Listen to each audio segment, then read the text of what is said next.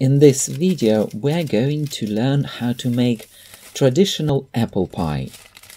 In the previous couple of videos I showed you how to prepare Bramley apples. These are green sour apples which are particularly good for apple pies.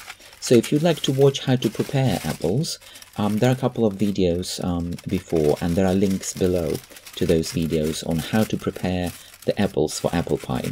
There's also another video on how to make your own organic uh, multigrain uh, short crust pastry. Short crust pastry is what traditionally used um, to make apple pies. There is a video where um, there's a lot of detailed information and you can see how it's made. Um, the link to this video below. Um, these videos are next to each other. And here we're finally going to assemble our apples, our shortcrust pastry into an apple pie and we're going to bake this amazing, beautiful, delicious apple pie made with green organic Bramley apples and multi-grain short crust pastry.